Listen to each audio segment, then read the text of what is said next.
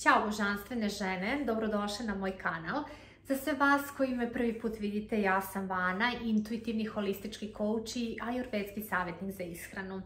E, pozdravljam vas i pozivam vas e, ovom prilikom da kliknete na link ispod e, ovog videa, da se informišete o mojim programima i da pregledate moj sajt, da vidite šta je to što ja nudim, čime se bavim, kako vam eventualno mogu služiti.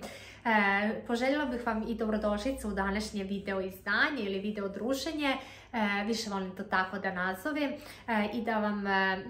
da vas zapravo pozovem da ispratite ovaj video u kome ću da pričam o značaju emotivne detoksikacije, o tome koliko je važno da kada pristupamo nekom procesu čišćenja organizma, da se ne baziramo samo na taj tjelesni moment i na rad zapravo na tijelu, nego da rezoniramo sa tim koliki je značaj da zapravo u tom procesu čišćenja organizma e, pomognemo našem e, organizmu da se oslobodi iz svih onih zarobljenih emocija. E sad, rad e, na emocijama je nešto što je zaista onako vrlo složeno, ali ono što zapravo većina ne zna jeste da su emocije također uzročnici mnogih oboljenja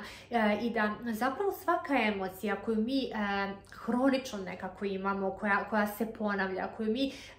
ne želimo sebi da priznamo, koju nismo obradile, s kojom se nismo suočile, koju nismo sebi priznale, e, koju nismo zapravo procesuirale, e, je ostala negdje duboko zarobljena unutar nas i da, e, uslovno rečeno, svaka emocija voli neki naš organ.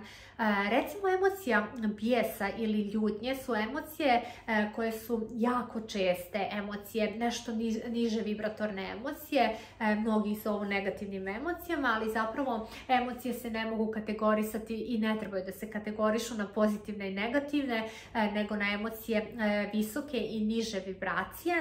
Ono što je interesantno recimo za bijes i ljutnju jeste da se akumulira na nivou našeg organa jetre. Jetra je najvažniji organ e, za detoksikaciju. Zapravo to je glavni organ za filtraciju našeg otpada. E, onog trenutka kada se emocije, kada emocija kao energija u pokretu prosto blokira e, jetru i onemogući joj na fizičkom nivou da obavlja svoju primarnu ulogu i da zapravo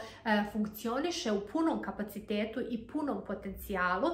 mi smo zapravo svoje tijelo u tom trenutku doveli u bojazan da recimo jedra zbog tog svog smanjenog kapaciteta neće isproducirati dovoljnu količinu hormona. Znači momentalno smo u, u kako bi rekla, izazovu od eventualne pojave hormonalnog disbalansa, da jetra neće obaviti svoju funkciju, adekvatnu funkciju u metabolizmu ugljenih hidrata, masti, proteina, da jetra neće prosto sintetisati imune ćelije koje su ćelije našeg sistema odbrane, da će naš organizam biti uskraćen za određeni sistem odbrane, za određenu snagu odbrane, da će naše zdravlje biti ugroženo. Tako da emocija kao energija u pokretu, e, svaka emocija koja je zarobljena na nivou našeg organizma, koju nismo uspjeli da obradimo, koju nismo sebi priznali, koju smo radije gurali pod tepih iz raznoraznih razloga, najčešće zato, pogotovo mi ovdje na Balkanu, što nekako e, smo e, kao rekla, baždareni na to da imamo prosto zabranu na određene emocije, mi smo e, svoje tijelo, svoje zdravlje i svoj organizam e, doveli e, u opasnost. Prosto smo potencijalno izazvali pojavu određenih oboljenja. Tako da mi zapravo sve te emocije koje na neki način ne procesuiramo na nekom, na kraju uvijek osjetimo e, na fizičkom nivou preko, e, kroz pojavu glavobolje, kroz pojavu recimo mučnine, e, kroz razne, razne stanje i razne poremećaje na nivou probave, na nivou metabolizma, kroz tendenciju da naš organizam zadržava vodu. Ovo je jako interesantno zato što je zapravo emocija vezana za element vode, a element vode je vezan za naš drugi energetski centar ili ti naš venerin centar koji se nalazi samo četiri prsta ispod našeg pupka i emocije su najčešće kod nas žena odgovorne za pojavu raznih cisti, za pojavu stanja policističkih jajnika, mioma, raznih papilarnih karcinoma, poremećaja na nivou ciklusa, poremećaja na nivou hormona i tako dalje, tako dalje. S druge strane, recimo tuga koja uslovno rečeno voli pluća i koja je odgovorna za pojavu raznih respiratornih, obstruktivnih oboljenja pluća, poput recimo bronhijalne astme ili bronhitisa ili kardiovaskularna oboljenja, poput recimo problema sa visokim krvnim pritiskom, aritmija, miokarditisa raznoraznih i tako dalje, tako dalje. Suština priče je da zapravo svaki E, disbalans na nivou našeg organizma se prvo osjeti na subtilnim nivoima. Dakle, na nivou naše energije, na nivou emocije, na nivou misli, a onda se osjeti na fizičkom nivou. I da zapravo svaka ta emocija nas nužno vodi u pojavu određenih e, oboljenja e, i pojavu određenih simptoma. Svaki taj simptom je samo zapravo komunikacija našeg tijela sa nama i zov našeg tijela da mu posmetimo više pažnje i svakako više ljubavi. E, tako da kada govorimo o fizičkoj detoksikaciji e, kroz određeni program ishrane, e, to je nešto što svakako primarno tangira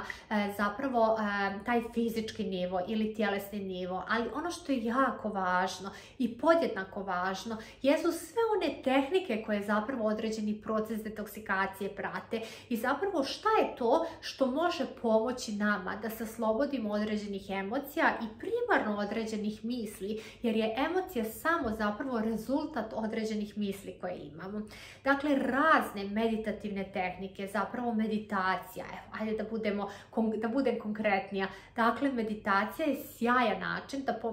koji možete praktikovati ne samo u okviru ove priče detoksikacije, nego prosto na dnevnom nivou kao jedna svojevrsna, kao jednu svojevrsnu vrstu rituala, dnevnog rituala, možda najbolje jutarnjeg rituala, e, da pomognete prosto svom umu da se smiri, da utišate sobstveni um, da, da otklonite tu buku u glavi. S druge strane, tehnike disanja koje su beskrajno značajne i važne i koje ja lično volim da e, praktikujem u radu sa svojim klijentima, pogotovo u okviru programa detoksikacije, jer je prosto ta hiperventilacija ili ti taj e, pojačana količina kiselnika, koju, svježe kiselnika koju unosimo u naše tijelo, zapravo način da pomognemo svim tim našim emocijama e, da se e, zapravo oslobode e, zahvaljujući prosto radu naših pluća, odnosno kroz tu razmjenu gasova ili ti kroz sam proces disanja. S druge strane, recimo ispisivanje dnevnika ili jutarnjih stranica je jedna sjajna terapeutska metoda, toliko jednostavna, a toliko divna, jer nam zapravo pomaže da oslobodimo taj prostor unutar nas, da bacimo sve te emocije na papir, da na neki način iskomuniciramo sa nečim imaginarnim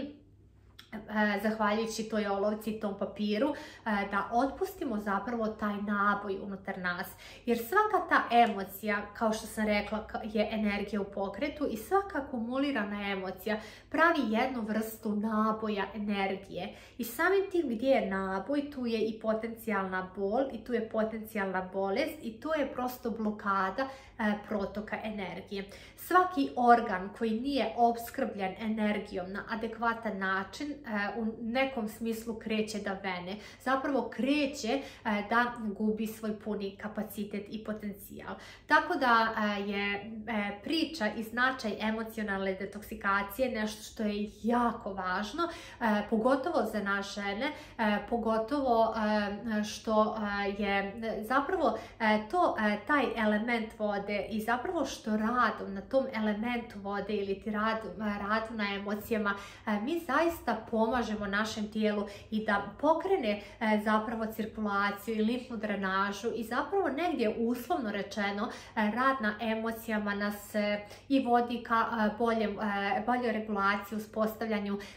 metabolizma, da funkcioniše i radi na adekvatan način i pomaže nam da zapravo pokretanjem te limfne drenaže negdje pomognemo i onoj našoj boljci ili ti celulitu da recimo ne bude baš tako invazivno prisutna na našem tijelu. A jedan od sjajnih načina koji također pomaže u radu s emocijama, pogotovo kada je zdravlje žene u pitanju, jesu prosto, jeste post kroz mjesečeve mijene, tako što ćete recimo odvojiti da budete jedan dan samo na vodi, kada je period punog mjeseca i kada je period mladog mjeseca, jer je zapravo uloga mjeseca u zdravlju jedne žene više slojna i više struka i jako značajna,